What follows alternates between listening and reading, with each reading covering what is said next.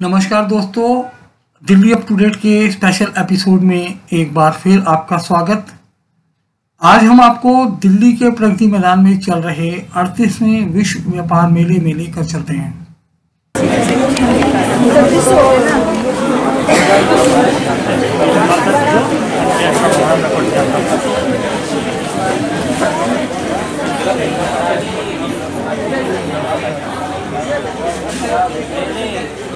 हाँ वाइट वाला हाँ, हाँ, हाँ। इधर का जो है, बिल्कुल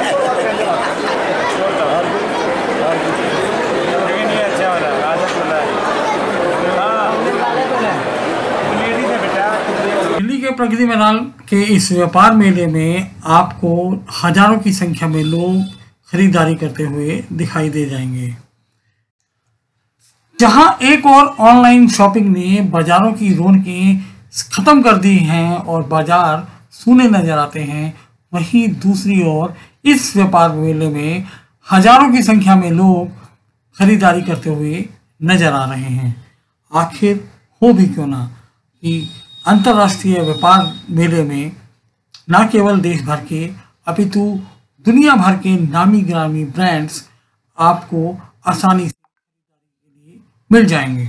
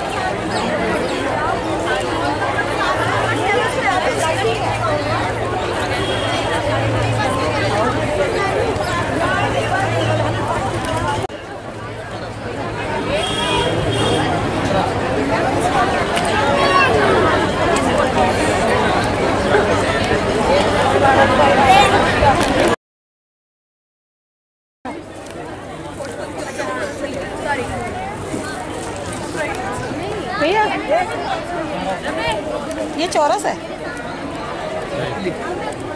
हाँ? गई कुर्ता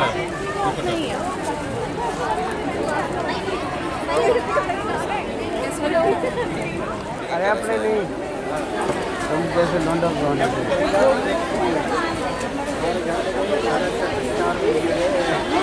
कुल मिलाकर इस व्यापार मेले में जिस तरीके से खरीदारी हो रही है निस्संदेह वो ऑनलाइन पर भारी ही पड़ रही है। आइए सुनते हैं लोगों के विचार, उनकी जुबानी। ऑनलाइन से हमें ज़्यादा अच्छा एक्सपीरियंस लगता है खुद परचेज करने के लिए। एक तो अंदर जो फीलिंग्स होती हैं कलर्स देख के थोड़ा और ज़्यादा अच्छा लगता है।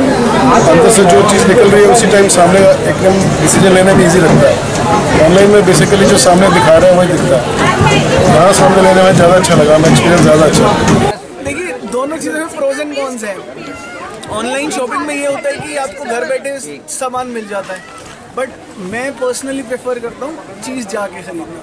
से जो है ऑनलाइन शॉपिंग के मुकाबले ये जो हम स्ट्रीट शॉपिंग या डायरेक्ट शॉपिंग करते हैं वो ज़्यादा बेटर है। बिकॉज़ ऑनलाइन शॉपिंग में आपको चीज़ का पता नहीं लगेगा कि वो लेकिन साथ वाला।